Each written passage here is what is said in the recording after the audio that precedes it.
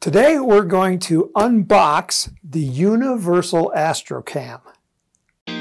There are many unboxing videos for model rockets, but wouldn't you like a real rocket scientist's opinion of the materials and parts in the kit? Today you'll actually find out the inside information so that you know what to look for when you get a rocket kit. Hi, I'm Tim Van Milligan from Apogee Components, and yes, I am a real rocket scientist. And today I want to unbox the Universal Astrocam from Estes Industries. Uh, Estes previously came out with a kit called the Astrocam, and one of the cool things about it was the camera that was included in the rocket. The unfortunate thing was they didn't give you any mounting hardware to mount the camera on other rockets, such as, you know, this big flamethrower rocket here from Apogee Components. Um, so they came out with the Universal Astrocam, which is the mounting hardware and the camera, so you can mount it on other rockets other than the Estes Astrocam. So uh, first looking at it, it's in a nice box. It's pretty lightweight, um, four colors, and they got really simple instructions here on the back on how to install the camera. I'm going to open it up here and let's open and find out what's inside. Okay, so you get one bag here with all the parts. Uh, I'm going to open this up.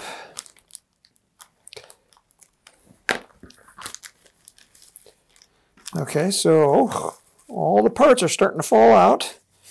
Uh, let's start with, uh, this looks like the instruction sheet. And it's two-sided, just one, one sheet of paper, and Estes really illustrates theirs nice. They have, you know, a picture of the items, the uh, camera holder, the HD camera.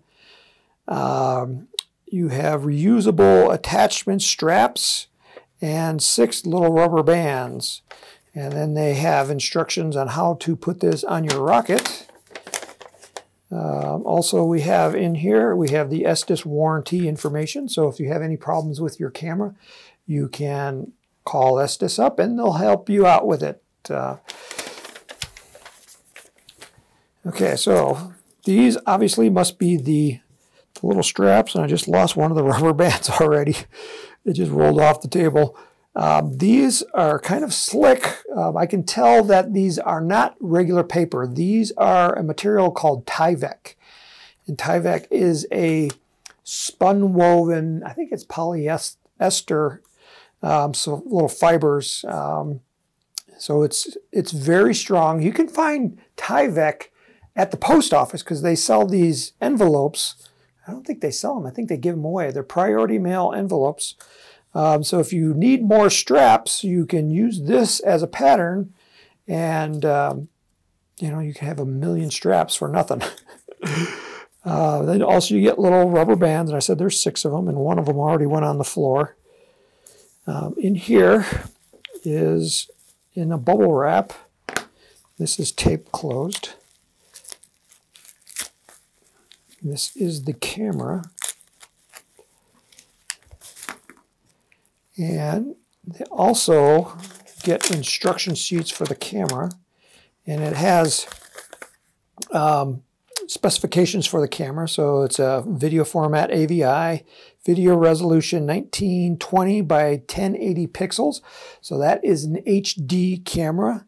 It also takes a still picture and it has a frame rate in video mode of 30 frames per second, and the battery, once you charge it up, it lasts 40 minutes. And if you use a 100 or 16 gigabyte flash drive um, memory card, you would get 90 minutes of video. So you'd have to charge it a couple of times to use up all the memory in a 16 gigabyte flash drive. And we talked about the camera before when we talked about the Astrocam, so I won't talk too much about that. Um, so you can watch that video. It's a good video. Shows you how to use the camera.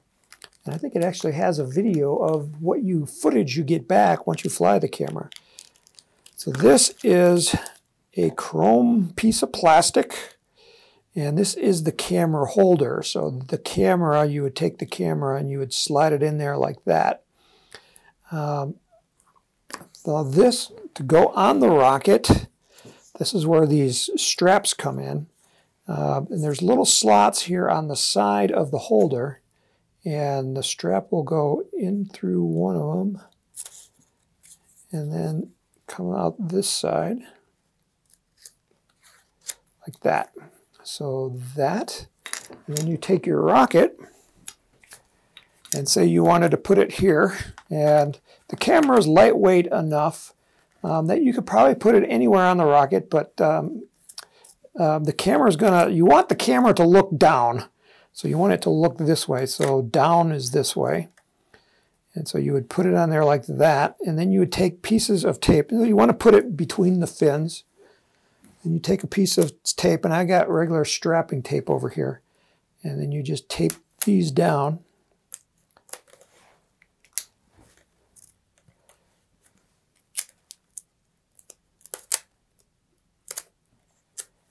And that holds the, the camera carrier on there, and then the camera itself would slide in there like this.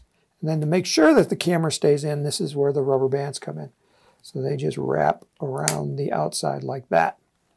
It's a little bit wiggly, but it's not too bad. Um, the camera's not going anywhere. It's going to stay on during the flight. And that shows you, you got to have this the right way so you can see that this is the flamethrower. Um, so that holds the camera on. Um, yeah, it's a good camera. Um, we actually like this camera. Um, so we kind of, you know, when we ran out of our other cameras that we were selling and this became available, we kind of said, hey, this is this is good enough. We don't need other cameras unless until we can find a better camera than this. Um, uh, we would definitely recommend this camera. Like as I said, it's an HD camera, so you get really good video. So that is the unboxing of the Universal Astrocam that you can mount onto any rocket. And if you're doing it on a smaller rocket, you could, you know, cut the strips if the strips go too far around. Um, and I said, you can get more Tyvek at the post office, so you can cut out more strips yourself. so thanks for watching, and we'll see you in the next video.